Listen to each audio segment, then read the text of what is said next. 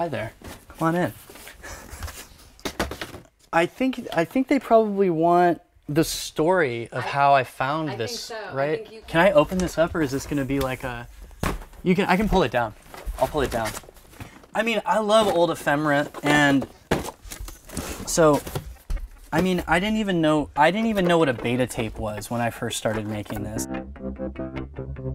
I was born and raised in Los Angeles and I wanted to make a documentary about the city. And I was exploring what I could make a documentary about that would let me touch on the vastness and complexity that is this city. I kept coming back to helicopters.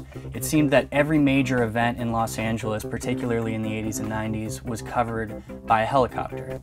Um, and so then the question became who is the most helicopter reporter of all helicopters, and that is Zoey Tur. Just talking to her for the very first time, it was like I was talking to Los Angeles. It was the it was it was one person that encapsulated an entire era.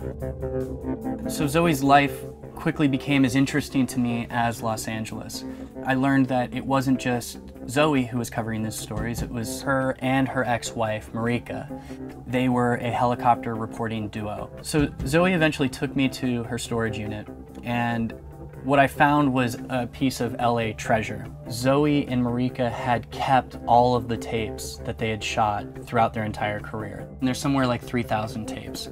Uh, we digitized all of them, piecing together Zoey and Marika's story.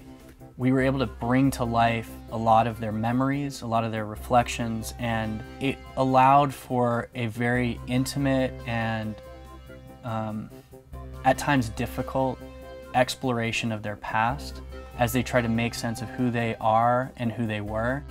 Whirlybird is both a story about Los Angeles and it's a story of a relationship. It's a story of two people who found each other and went on an amazing adventure.